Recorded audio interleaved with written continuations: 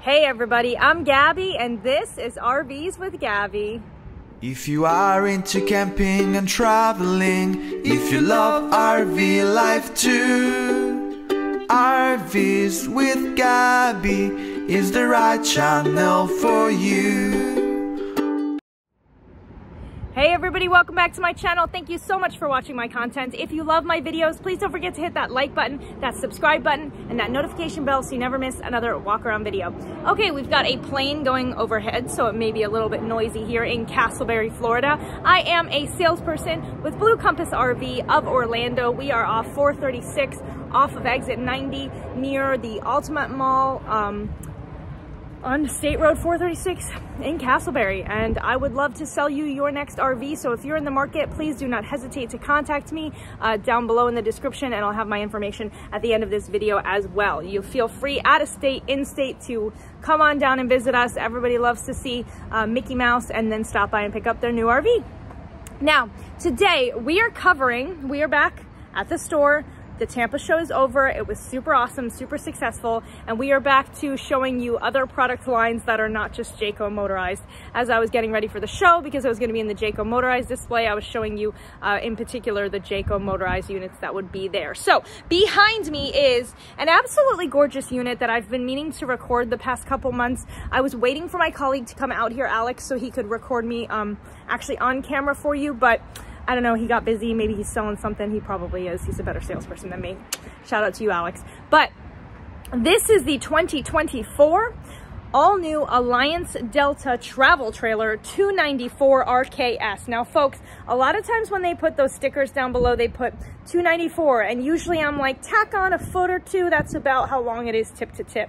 This one's a little deceitful. This baby tip to tip is actually 33 feet and 11 inches. She is a big old mama. I'll drop down below also the dry weight on her um, because looks are deceiving, right? Make sure that when you go to these RV dealerships that you're asking these kind of questions, right? I understand that the sticker says this, but I am very familiar with the fact that most of the time the sticker is inaccurate. I've had customers come in here and tell me that they saw a beautiful rear bunk model unit that was only 29 feet. And I was like, nope, had to be 35 if it had a separate bedroom in the front and in the back. And they were like, no, no, no, it was 29. The, the, salesperson said 29. And we actually pulled it up together on my phone and it was in fact 35, 36 feet. And they were like, definitely can't do that, too big. But imagine if they had gone and bought that product and that salesperson did not know, um, and maybe they truly did not know. I'm sure they were not trying to be deceitful, but definitely do your research and keep these things in mind, okay? I wanna point out, because somebody at the Tampa show said, hey, Gabby, make sure that you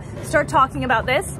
The uh, total vehicle weight, weight of the cargo, right? Your payload capacity, how much stuff you can put in this baby is 1736 pounds, 1700 pounds, okay? I mean, that's like stacking bricks or I feel like even a smart car on the roof. You're definitely not gonna load her up that heavy, but um, just so you know, that is the payload capacity of this travel trailer. And without further ado, I'm gonna turn it around and stop showing me. Let's check her out. Okay, starting up front on the Delta, you've got this lovely looking fiberglass cap and you have a nice rock guard up here with the 20 pound propane tanks, your um, electric power tongue jack, right? And then what looks like an integrated A-frame here. So that's super, super nice. For more information on that, go to my Feature and Benefit Friday videos. Down the side of the Delta, this one has a slide out on the camping side, but let me tell you folks, it is not that big and not that bad. It doesn't really uh, take up a lot of your awning space and it looks awesome inside the unit as a result of that slide out. So I know some people say, I don't want to slide on my camping side, Gabby, but you know what? This one, you might want to settle with it once you look at the inside space. Okay, coming on down the road, I want to do this um, in order. You have a 320 watt solar panel on board, your 320 watts of solar on board with a 40 amp charge controller, okay? Nice and labeled everything. What are these, folks? Oh my goodness. Do we have awning buttons that I can actually look at the awning as it comes out? I'm not standing in the unit. How cool is that? So you've got one, two switches here, and these are for your awnings, which are on the side of the unit my battery's probably dying because the second one's not working. But that is really awesome that they've added this feature. So instead of being inside shouting at the person outside, I have the buttons right here.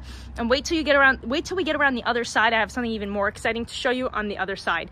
But you have some 110 outlets right here. And then you have a six foot table. Now they bracket this table on top here because Alliance knows that when you get to your campsite, you don't want to go digging through this storage bay and unpacking everything to be able to set up your table and eat dinner, okay? You get to your campsite, you open up and you just want to get to it, all right? So the table is on top purposefully so you don't have to dig through everything to get to that table. Now, override for your slide out is right here. That's that little hole. You do have standard leveling jacks, right? You're going to want to get a drill there. Go go check out go check out one of my recent jack videos. That was a lot of fun there. Uh, a lot of um, elbow grease. Okay, Lippert solid step above step. Nice big step here. It is adjustable. And then you've got a nice big safety grab handle. Let's not forget that they use Azdel on board. Again, for more information on Azdel product in the sidewall, please go visit my Feature and Benefit Friday videos because I want to keep this video as short as possible.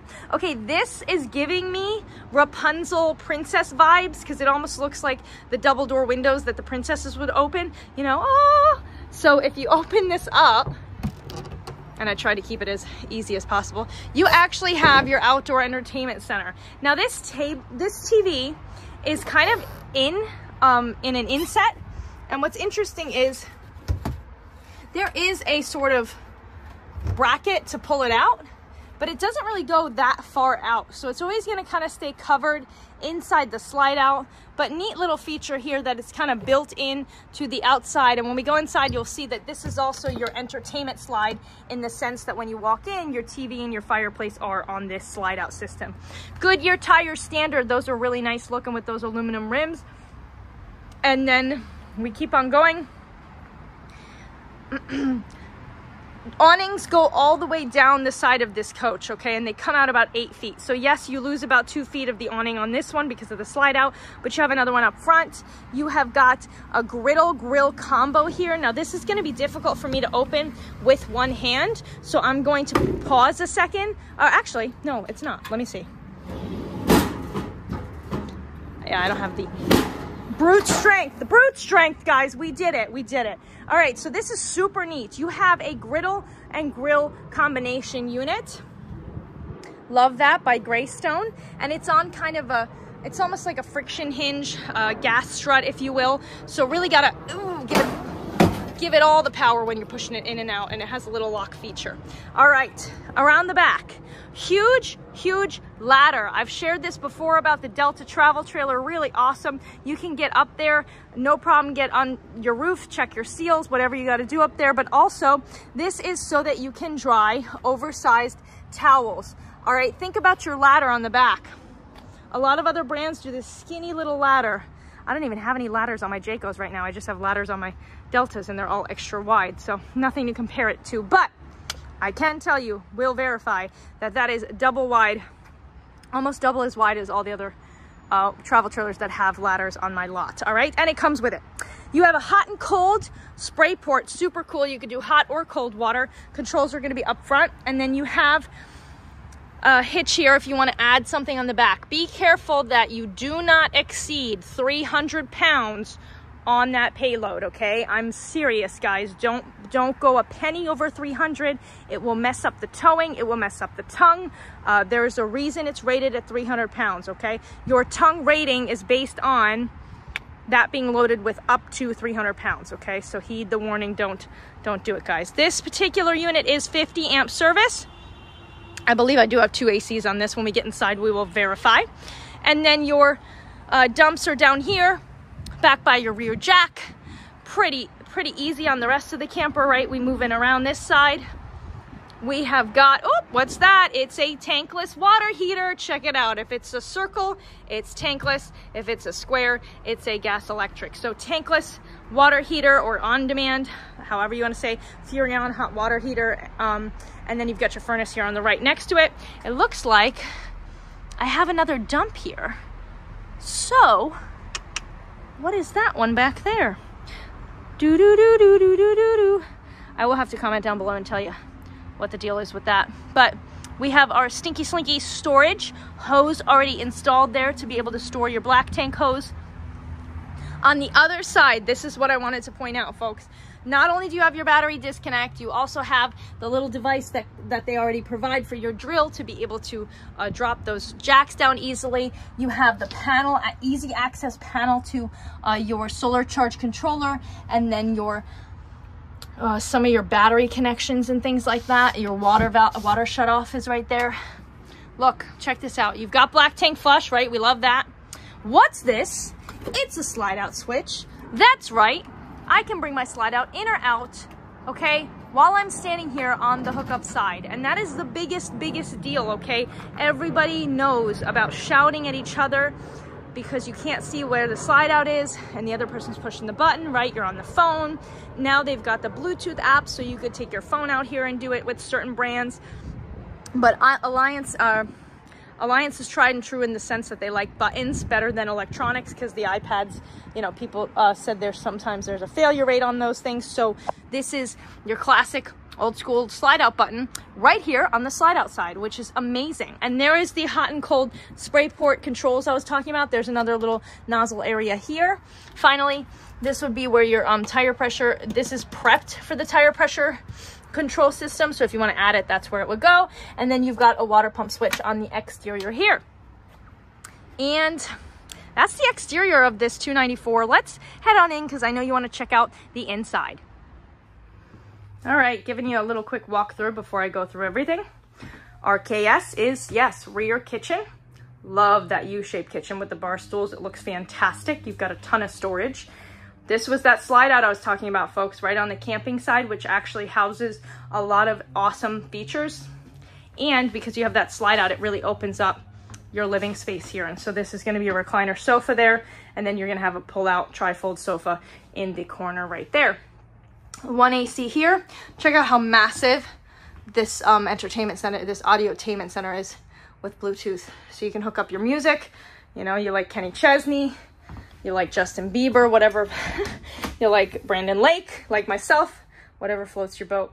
Closet here, pantry closet looking good, guys. I know everybody's always looking for storage. So pantry closet there.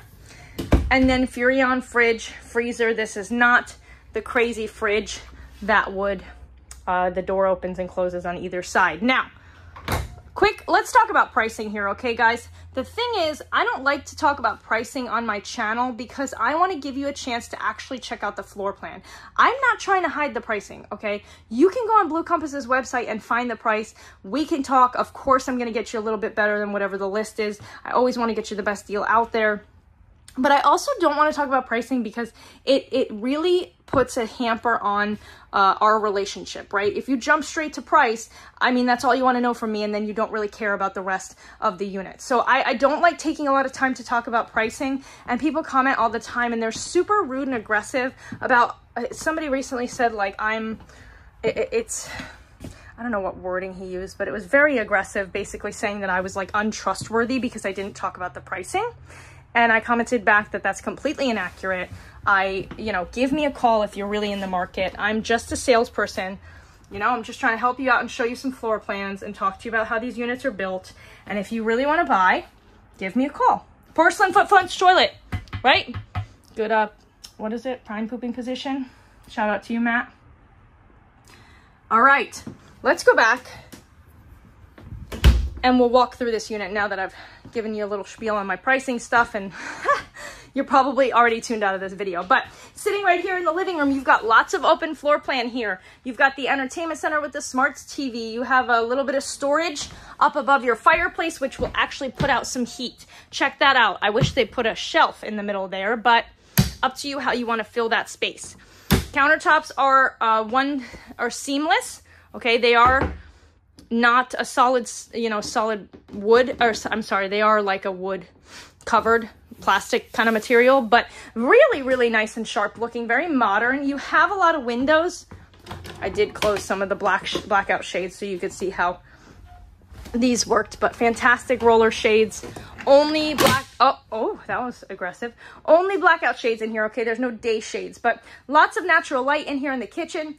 And you have your microwave little popcorn microwave here.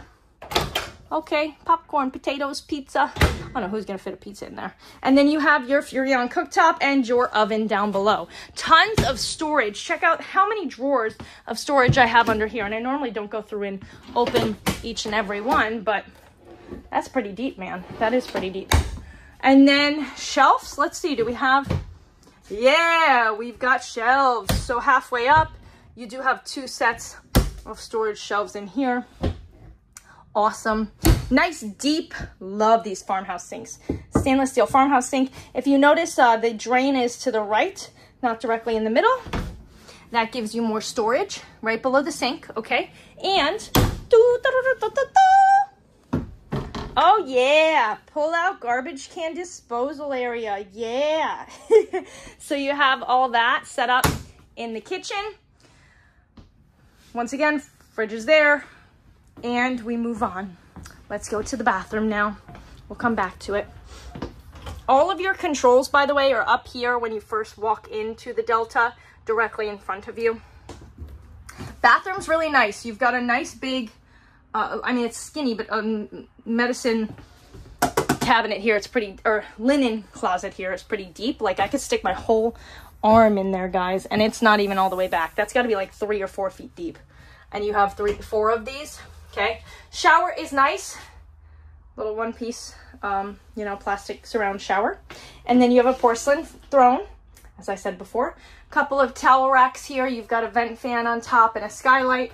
And then this medicine cabinet here, oh, decently deep with a nice big stainless steel sink. This is a large sink and a little bit of counter space. You have the controls to your water heater right here. It is gas only. The tankless water heaters are gas only, by the way. That is one of the pros or cons to them. They don't run off electric. These are pretty big drawers in here, too. So those are nice. And then shelf underneath there as well. All right, moving into finally the bedroom. I know we took a brief peek at it earlier, but you've got a nice big window in the hallway here. Again, another one in the bedroom. Nice big bed here. I'll put the dimensions down below. And then you have beautiful epoxy nightstands. There are going to be actual drawers here for you to pull out. Okay, they're pretty deep. You have a chargers, USB ports, and 110 outlets right here. And then you've actually got this like kind of shallow with like a velvet base storage on either side as well. These lights are going to change from blue to white to off. So that's nice, along with the white accent lights above. And then uh, take the shelf out, make it a hanging closet. Up here, whoop, oh, I don't like that, guys. I wish they had some struts there to keep these open. All the way down, there's no um, divide between the two. And finally, other side, let's check it out. We're gonna get more into cabinets this year, guys. Same thing, you could make it a hanging closet or make it shelved unit. Okay, second AC is in here. I'm also prepped for a TV there if you want to add a bedroom TV. And finally, this nice little closet area. This is huge, honestly, for the space, you know, um, most people walk in a travel trailer and this is all you're getting for storage in the bedroom. So I think it's a big deal that they're able to put two more deep drawers here and then this massive hanging closet. That looks fantastic it's interesting because there's also a prep for something here. Looks like a Winegard system here. All right. And that about covers it on the 294 RKS, guys. Alliance does a great job with their units. They do an even better job with customer service after the sale. Absolutely love their products and their team. Uh, they are great to us and we love them. And they did a phenomenal job at the uh, Tampa show last week. They sold, they broke record sales. So if you are interested in Alliance, definitely go check out their Alliance RV group on Facebook. I'll link the information down below because you have the owners there, you have people, uh, the people who run the company there. Everybody is involved and everybody is talking back and forth and it's a great place and a great resource to get more information about these products. That all being said, I thank you so much for watching my video. I hope you love my content and until next time, Happy camping!